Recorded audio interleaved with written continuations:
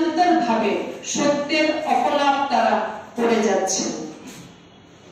আজ গত পরশুদিন গতকাল সরি গতকাল আমাদের রাজ্যের প্রাক্তন একজন সাংসদ সম্মানীয় সিপিআইএম এর যিনি প্রদেশ সম্পাদক, উনি তাদের প্রদেশ কার্যালয় থেকে গণতন্ত্রের চতুর্থ স্তম্ভের সামনে বসে ভারতীয় জনতা পার্টি তথা এই সরকারকে, বিজেপি আইপিএফটি সরকারকে কালিমা লিপ্ত করার জন্য যে অপকৌশল প্রয়োগ করেছেন তার তীব্র নিন্দা আমরা ভারতীয় জনতা পার্টি থেকে আমরা জানাই।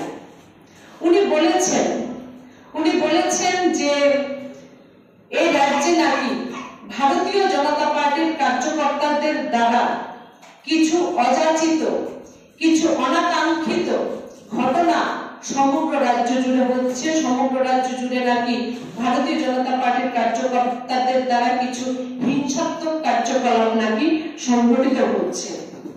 তো আজ আমি এখানে বসে মাননীয় যিনি সম্পাদক, ওনাকে একটা প্রশ্নই আমি করতে চাই এবং একটা কথা আমি বলতে চাই। গতকাল আপনাদের সংবাদ মাধ্যমের সামনে বসে উনি যে তথ্য উনি তুলে ধরতে চেয়েছিলেন যে মিথ্যা তথ্য উনি পরিবেশন করেছেন। সে তথ্যগুলো যদি উনি একটু আগে থেকে উনিশশো সালের পর থেকে এই রাজ্যে ঘটে যাওয়া বিভিন্ন অযাচিত, অনাকাঙ্ক্ষিত, অগণতান্ত্রিক, অনৈতিক, অবাঞ্ছিত ঘটনা যেগুলো এই রাজ্যে হয়েছে, সে সমস্ত তথ্য যদি উনি তুলে ধরতেন, তাহলে বলতে পারতাম যে সত্যের অপলাপ সেখানে হতো না।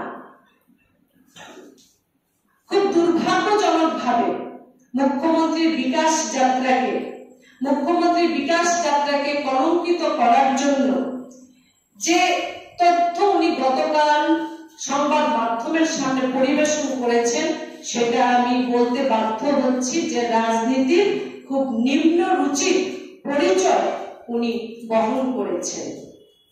উনি বলছেন, অনাকাঙ্ক্ষিত। তা আমি প্রশ্ন করতে চাই, দীর্ঘ পঁচিশ বছর আপনাদের কাছে কাঙ্ক্ষিত কোনটা ছিল?